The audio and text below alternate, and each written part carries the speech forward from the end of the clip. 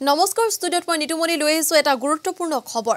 আজিৰ পৰা পুনৰ মুকলি হ'ল মাজুলী নিমাতী ফেৰী সেৱা। লকডাউনৰ বাবে এমাহ সাতদিন ধৰি বন্ধ হৈ আছিল ফেৰী সেৱা আৰু মাজুলী জিলা প্ৰশাসনে বন্ধ কৰি ৰাখিছিল সকলো ধৰণৰ ফেৰী সেৱা। কিন্তু আজিৰে পৰা পঞ্চাছ শতাংশ যাত্ৰীৰে পাৰাপাৰ হ'ব পাৰিব ফেৰী। আৰু ফলামুখ পাৰঘাটত দিনটোত আঠখনকৈ ফেৰী চলাৰ সম্ভাৱনা আছে আৰু পাৰাপাৰ হ'বলৈ অফলামুখত ভিৰ কৰিছেহি এতিয়া বহু যাত্ৰীয়ে।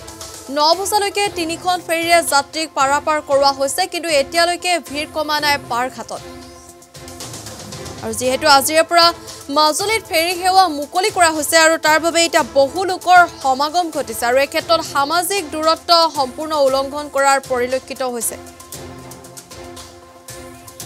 প্ৰায় দুই তিনি হেজাৰ লোকে ভিৰ কৰিছে পাৰঘাটত আৰু লকডাউনৰ যি নীতি নিয়ম আছিল সেই নীতি নিয়ম সম্পূৰ্ণ উলংঘন কৰি তেওঁলোকে লাইন পাতি থিয় হৈছে ফেৰীৰ জৰিয়তে পাৰাপাৰ হ'বলৈ।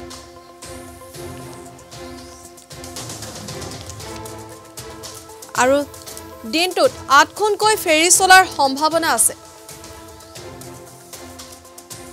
যিহেতু ৰাজ্যজুৰি বৰ্তমানে অব্যাহত আছে কভিড নাইণ্টিনৰ সংহাৰ আৰু তাৰ বাবে ৰাজ্যৰ ভিন্ন ভিন্ন প্ৰান্তত চলাচল বন্ধ কৰা হৈছিল আৰু সেইদৰে মাজুলী আৰু নিমাতীঘাটৰ ফেৰী সেৱাও অনিৰ্দিষ্ট কাললৈ বন্ধ কৰা হৈছিল।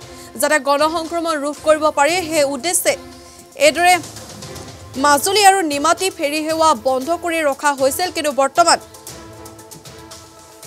মুকলি কৰা হৈছে মাজুলী আৰু নিমাতী ফেৰী সেৱা। যিহেতু এমাহ সাতদিন ধৰি বন্ধ হৈ আছিল ফেৰী সেৱা আৰু যাৰ বাবে বহু লোকে এতিয়া ভিৰ কৰিছে পাৰাপাৰ হ'বলৈ আৰু পঞ্চাছ শতাংশ যাত্ৰীয়ে পাৰাপাৰ হ'ব পাৰিব ফেৰীত। আৰু আজি পুৱাৰ তিনি বজাৰ পৰা এইদৰে ভিৰ কৰিছেহি যাত্ৰীসকলে। আৰু পুৱা ন বজালৈকে তিনিখন ফেৰীৰে যাত্ৰীক পাৰাপাৰ কৰোৱা হৈছে কিন্তু লকডাউনৰ যি নীতি নিয়ম আছিল সামাজিক দূৰত্ব সেই সামাজিক দূৰত্ব সম্পূৰ্ণ উলংঘন কৰিছে এইসকল যাত্ৰীয়ে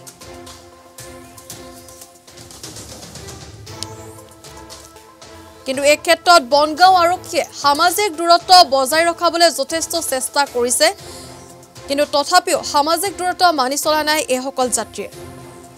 আৰু মাজুলীৰ পৰা আমালৈ এই বাতৰি প্ৰেৰণ কৰিছে প্ৰাঞ্জল খাউণ্ডে খোলা দিছিলে কিন্তু উইকেণ্ড লকডাউন হোৱাৰ কাৰণে কালি খোলা নাথাকিলে দেওবাৰ আছিলে। আজি সোমবাৰৰ পৰা আমি ষ্টাৰ্ট কৰিছোঁ। এতিয়ালৈকে তিনিখন নাও গ'ল আৰু এতিয়া এম বি মূলা গাভৰু যাব মাৰবুট মাৰবুটত যাব লাগিছে ষাঠিজন। ত্ৰিছখন বাইক আৰু ত্ৰিছজন যাত্ৰী আমি লৈ যাম। ছ'চিয়েল ডিষ্টেঞ্চ মেইনটেনেঞ্চ কৰি পেলাই।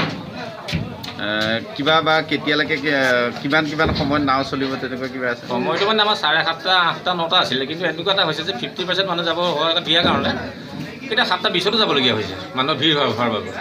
আছিলে আজি যথেষ্ট যাত্ৰী ৰাতিপুৱা ঠিক পাঁচ বজামানৰ পৰা অহা দেখা গৈছে। আৰু সেইমতে আমি ৰাতিপুৱা সাতটা বজাৰ পৰাই আমাৰ নাৱৰ টীম আৰম্ভ কৰিছোঁ আৰু পঞ্চাছজন যাত্ৰী অহাৰ লগে লগে আমি নাও খুলি দিয়া হৈছে। মানে বাইক কিমানখন গৈছে বাইক পঁচিছখন মানুহ পঁচিছজন। আৰু বাইক পঁচিছখন মানে ইনক্লুডিং উইথ মানে ৰাইডাৰ আৰু কিমান মানুহ হৈছে? কিমান সময়ৰ পৰা ভিৰ হৈছে? ভিৰ আপোনাৰ এতিয়া শুনা মতে পাঁচটাতে মানুহ হৈছে বুলি কৈছে। মানে কি হ'ব ৰাতিপুৱাটো কিছুমানে চাৰিটা বজাতে আহি লাইন পাতি আছে এই গাড়ী মই আহোঁতে মোৰ আগতে তেৰ চৈধ্যখন গাড়ী আছে। প্ৰশাসনৰ ফালৰ পৰা ভালকৈ এটা ডিচিশ্যন লোৱাটো ভাল পালোঁ নানো কাৰণ নাওখনটো সাতটা চাৰে সাতটাত দিছেগৈ। পাঁচটাৰ পৰা আহি গোটেই ৰাইড মানে ৰখি আছে পেচেঞ্জাৰ আহি আছে বাইক মানুহ তাকে ৰৈ ৰৈ এতিয়া আৰু ছ'চিয়েল ডিষ্টেঞ্চ যিটো কৈছে কিন্তু নাৱৰ ভিতৰত পঁচিছজন যাত্ৰী দিছে কিন্তু বাকী লাইনততো ৰাইজেতো চব মানে ইজনে ইজনে গাত লগাকৈ ৰখি আছে।